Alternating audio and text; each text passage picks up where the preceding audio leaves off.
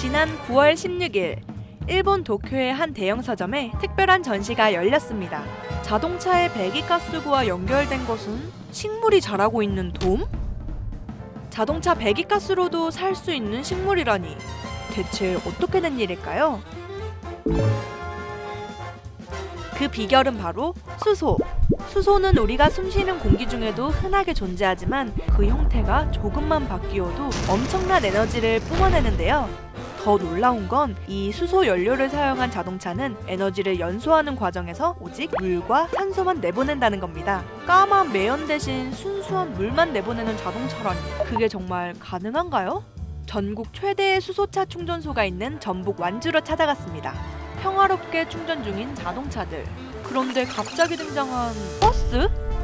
완주 수소 충전소에서는 승용차뿐만 아니라 버스나 대형 화물차 같은 상 용차의 수소 연료 충전도 가능하다고 합니다.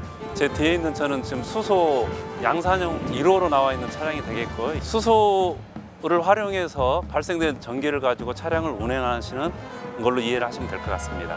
이 수소 버스 역시 이산화탄소 대신 전기를 만든 뒤 나오는 부생물인 깨끗한 물만 배출하고 있는데요. 너무 순수한 형태의 물이기 때문에 마시면 오히려 배탈이 날 수도 있다고 합니다. 소음과 진동이 적어 승차감이 좋다는 전주 수소 버스. 어떤 느낌일까요? 직접 타봤습니다. 지금 이게 시동이 켜 있는 상태입니다. 진짜요? 시동 소리가 하나도 안 들리는데요? 어머, 네. 아 진짜 조용하구나. 너무 조용해서 침묵이 민망할 정도.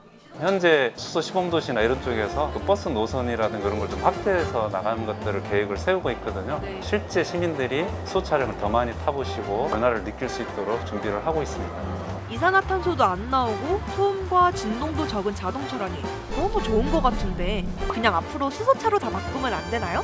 현재 일반적으로 차량에 공급되어진 수소는 화학단지에서 나오게 되어지는 부생수소를 저희가 공급받아서 하거든요. 그래서 이런 환경적인 문제하고는 조금 좀 안 맞아서 현재 우리나라에서 만드는 수소 에너지는 제철 등과 같은 공정 과정에서 나온 부산물인 부생수소. 수소 생산 단가가 저렴하고 여유 생산 능력이 높아 가장 경제적인 수소 제조 방법이지만 공정 과정에서 탄소를 배출하기 때문에 친환경이라고 할 수 없습니다. 이런 한계를 극복하기 위해 전북에서는 그린 수소에 주목하고 있는데요. 그린 수소는 오로지 물을 이용해 수소와 산소를 분해하는 수전의 방식이기 때문입니다.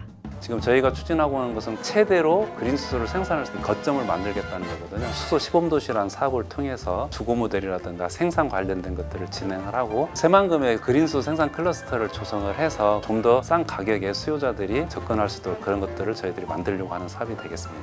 미래 산업의 핵심 에너지로 떠오르고 있는 그린 수소. 점점 커져가는 세계 수소 시장에서 우리나라도 중요한 거점으로 활약할 그날 곧 오겠죠?